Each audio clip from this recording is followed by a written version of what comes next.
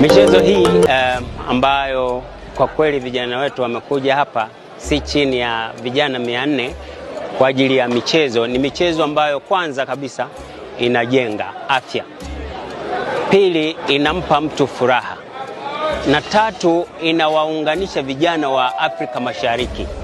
Kwa kitu hiki nadhani ni kitu ambacho sisi kama viongozi tunatakiwa tukiweke mbele zaidi ili hawa vijana ambao wako chini hapa watakapokuwa wawe na ule muungano kutokea chini wakiwa wadogo mpaka watakapokuwa watu wazima.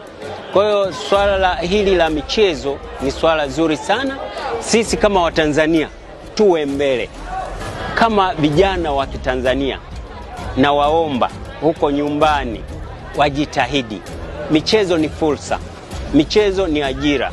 Kwa hiyo hata huu ni mchezo wa kimataifa, si bure, na hapa amewekeza pesa mama yetu pamoja na viongozi wengine wa serikali yetu.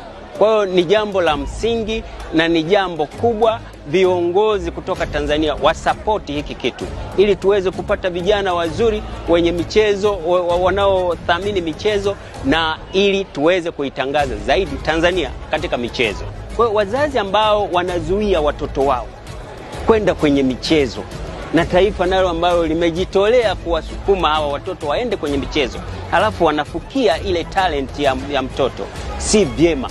Na waomba wazazi wa Tanzania wasiwafiche watoto wao kwa sababu zao binafsi.